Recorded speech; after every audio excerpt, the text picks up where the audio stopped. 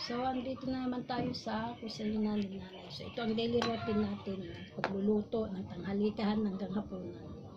Yeah. So, ang lulutuin ko is sprouted toge. Ito yun. Carrots and beans. Ang ihalo ko is tofu. Ayan. Kung mapapansin nyo guys, ito, dinip ko siya sa fish sauce. Mas malinamnam kasi, mas masarap ang tofu pag dinidip siya sa fish sauce. Tapos din ito, fried chicken leftover kahapon. So, iyon ang ihalo ko dito para hindi naman siya guys.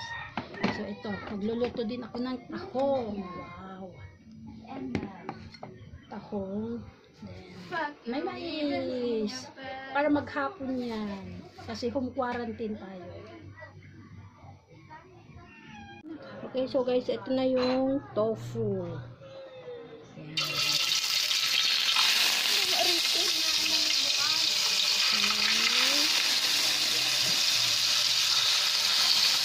Ayan, mabango siya guys, kasi yung patis.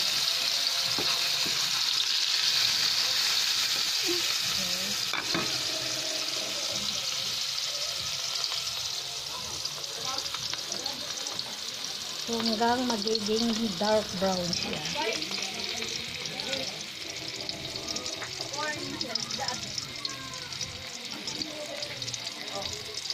I hate yellow, you know.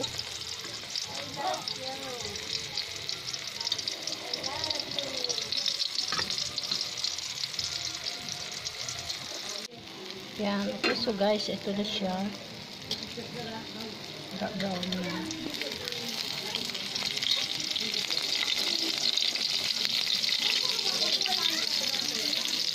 Okay, so luto na siya guys. Yan. Okay, so guys, ito na siya. So, igisa na natin yung yan, yan. Yung pinagprituhan ko ng tofu, yun na rin guys. So, ito, sibuyas. Makikita nyo konti lang kasi konti lang naman yung lulutuin ko.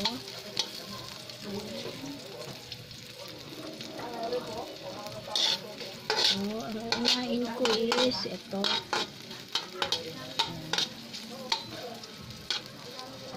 Kunti lang oil niya guys kasi hindi pwede na cholesterol. So,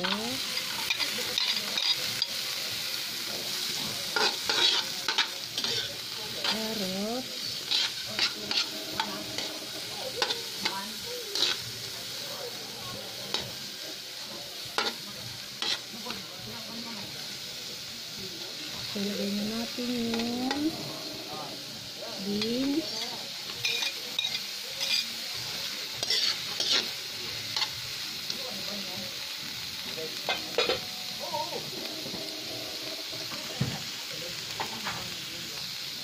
Okay, so guys, ito na yung chicken na tira. Yan, yan na yung leftover.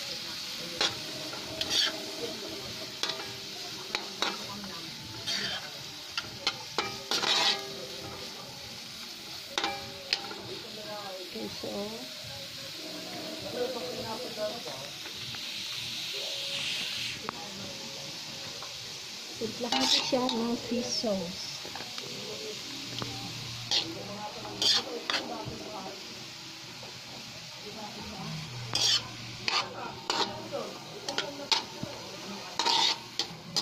Okay, so naluluto na siya guys. Lagay na natin yung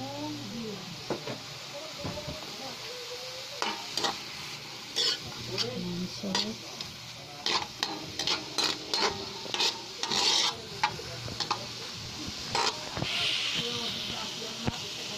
Lagay na natin ang beans. Toge. Not beans, toge.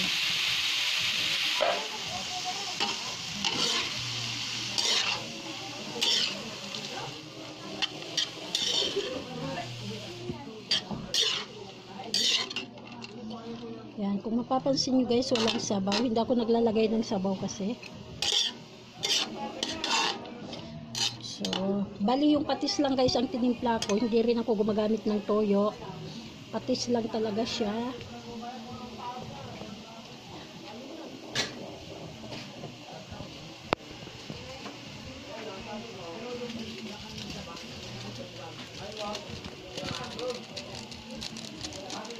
So, mapapansin nyo ito, um, a bit of magic sarap lang.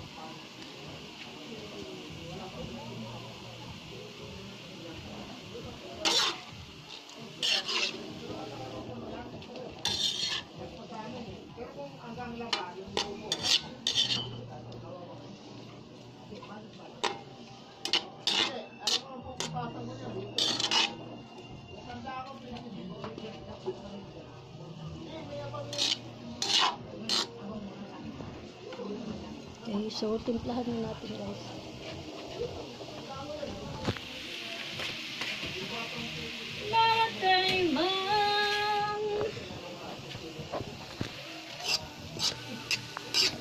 So ito lang guys, pinakasabaw niya talaga.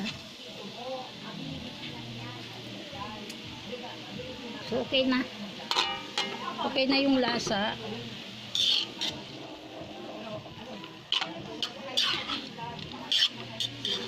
So, masarap na siya, guys. Ilagay na natin ang tofu. Yan. So, ang gusto ko lang kasi naman nito, guys, is half cook. Luto na yung beans, tsaka carrots. So, pwede na. Okay, so, ilagay na natin yung tofu.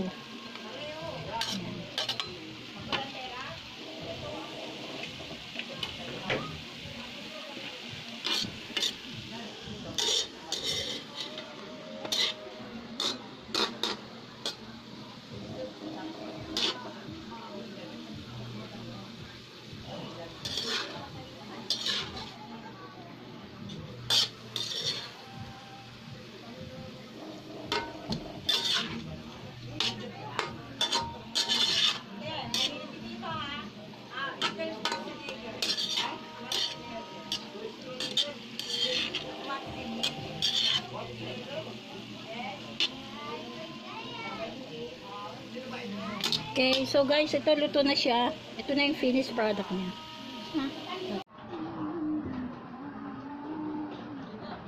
Okay, ang sunod guys is yung tahong.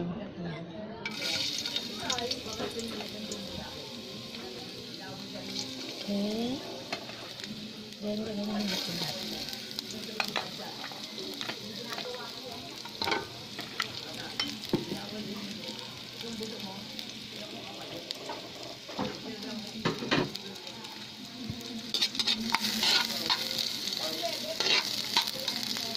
Niyo siya guys, walang luya. Kasi nakalimutan kong bumili. Pero okay naman siya. Masarap pa naman, basta masarap lang pagkaluto. Okay, so guys, ilagay na natin to.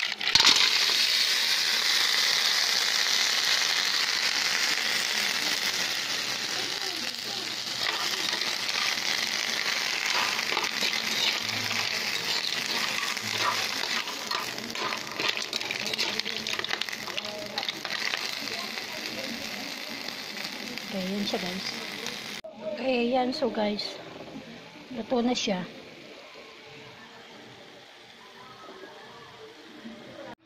Okay, so guys, ito na yung mga finished product niya. Yan. Ito na yung toge. Tahong. So please, don't forget to like and subscribe my videos. God bless all. Thank you.